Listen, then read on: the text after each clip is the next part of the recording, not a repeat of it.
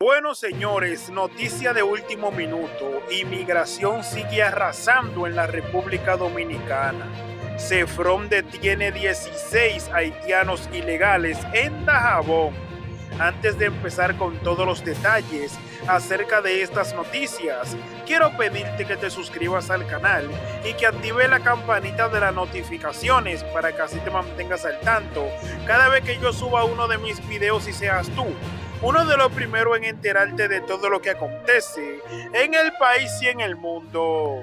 El cuerpo especializado en seguridad fronteriza terrestre, CEFRON, detuvo 16 nacionales haitianos por encontrarse en estatus migratorio irregular, los cuales se trasladaban a bordo de cinco motocicletas en Dajabón.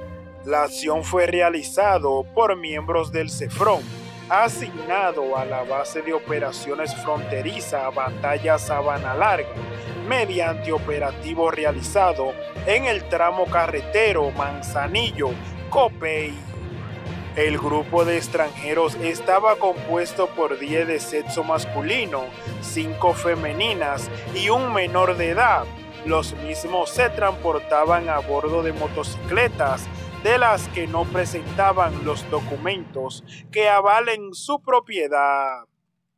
Los nacionales haitianos junto a los motores fueron entregados bajo certificación a miembros de la Dirección General de Migración DGM para los fines correspondientes. La institución que se encarga de la seguridad fronteriza sancionó drásticamente este martes a miembros de una patrulla que no detuvieron a tres motocicletas que transportaban nacionales haitianos ilegales hacia territorio dominicano, en Dajabón.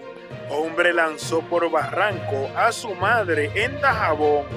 El detenido será puesto a disposición de la justicia en las próximas horas.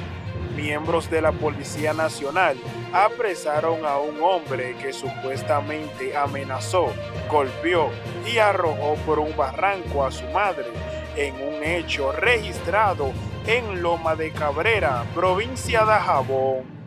El agresor fue identificado como Marcelino Pacheco, de 34 años, quien se encuentra privado de libertad en un cuartel policial de esa demarcación. La víctima, quien es su progenitora, fue identificada como Anabelquis de los Santos Gómez González, de 60 años, quien resultó herida debido al ataque cometido por Pacheco.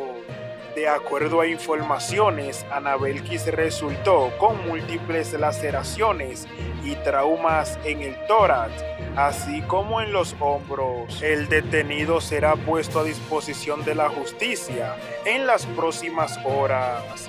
Hasta el momento estas han sido todas las informaciones acerca de estas noticias, pero lo más importante es que tú dejes tu opinión ahí debajo en la caja de los comentarios, porque recuerda que tu opinión también cuenta.